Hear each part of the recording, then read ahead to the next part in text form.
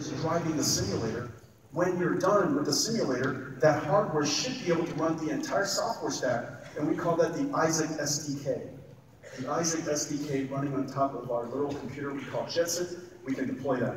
We made a quick little video for you. All you have to do is come to this website, and we'll take um, uh, and, and uh, let us know if you're interested, and we'll get you going on Isaac SDK.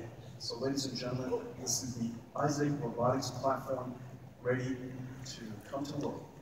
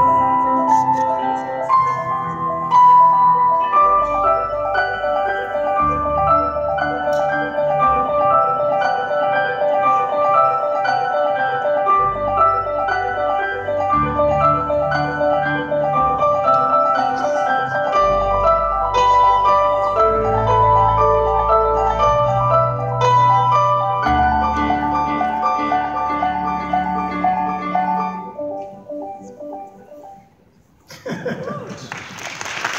and gentlemen, Isaac.